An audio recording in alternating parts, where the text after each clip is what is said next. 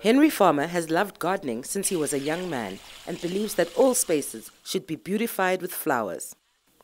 One of the first challenges Farmer and his green fingered friend Johannes Jacobs met when they wanted to start creating the garden was the lack of water, but the residents and their families came together to help him realize his dream. Henry uses his pension money to pay Johannes for the work he does maintaining the garden. In the year 2011, I was already a few years here. And here was only sand, and I was thinking, what can we do to improve our living and make the place nice for the people that comes in. But I don't know how to do it. Then I met Johannes Jacobs.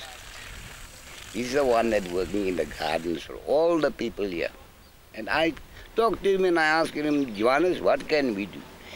He said, yes, it's a good plan, but there's no water.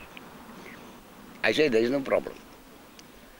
Then we go into the people, from house to house, telling our story, what we're going to do, what we want to do.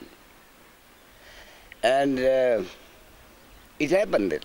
Farmer is pleased to have brought some life into the otherwise dreary environment and is also proud of the cooperation he has received from other residents at the old age home. Johannes believes that flowers are a symbol of love and that everyone should grow them. If you have flowers in your garden or flower pots, then people see that there is love in your yard and love in your life.